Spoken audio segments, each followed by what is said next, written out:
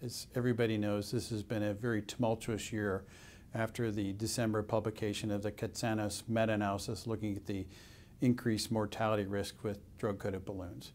As everybody knows, uh, the first thing that happened is the regulatory bodies in the U.S. and abroad reached out to the manufacturers to really understand was there a risk as stated in this trials. And the FDA came out with a warning, well, an initial statement in March, and then looked at their, the data from the U.S. manufacturers. And their first pass, they did not find the 98% relative risk of mortality through five years that Katsanos did, but found a 58% increased risk and really felt that there was something to this signal. The meta-analysis done by Katsanos looked at data from published trials, so it didn't have individual patient level data. So we reached out to the five US manufacturers of approved devices using paclitaxel, so Medtronic, Philips, Cook, Bard, and Boston Scientific. We then used the PRISMA method for looking at an individual patient level data meta-analysis. We excluded the Boston Scientific product because it wasn't randomized to a non-paclitaxel population. So they randomized their data to the Cook, Zilver PTX or not. So using the randomization methods, we looked at individual patient level analysis and presented our data at an FDA panel meeting in June our first pass on the data set, having the individual patient level data and harmonizing the data, reduced the FDA's first look of 58% to 38%. We then worked very hard with the manufacturers to try and vital statistics on patients who'd been lost to follow-up and took the loss to follow-up rate from over 20% to just above 10%. In doing that, we've now shown and presented our data that we found still a 27% increased risk of mortality with paclitaxel devices in U.S. randomized trial through five years.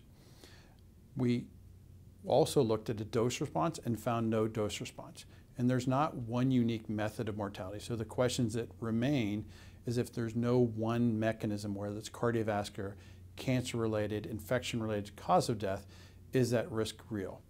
So really the change that we've seen since the VIVA independent data meta-analysis of a 27% increased risk as we now look at bigger populations and real world populations, we're not seeing that risk continue to perpetuate and really those results being a relative risk of one.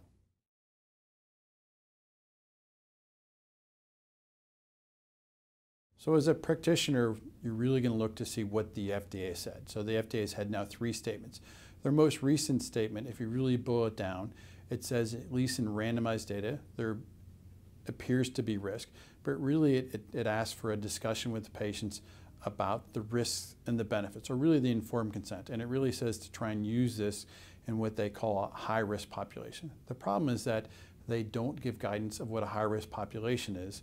And the randomized data sets do not treat high risk patients. They generally have patients with less than a nine centimeter lesion length and patients that are generally going to do well in claudication. And so it really is that you should have a discussion with your patient and have an informed consent and let them know that this possibility is out there and really trying to define in your own practice what is high risk.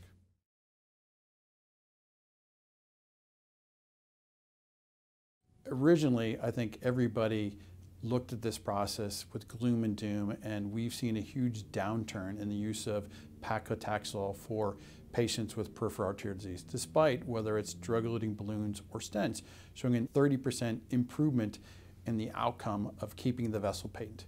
But I do think this has led to really light at the end of the tunnel. As we've seen both CMS, the FDA, European regulators, physicians and industry now all starting to partner together to see how we move forward, how we study this in this patient population, but how we improve trial design to look at late risk. I think really we've seen a huge uh, harmonization of the field and how we get together to do this. And so I would have never imagined that industry, the FDA, and clinicians would all be on the same page, but this has really united everybody to put patients first to figure out how we study this best in the future.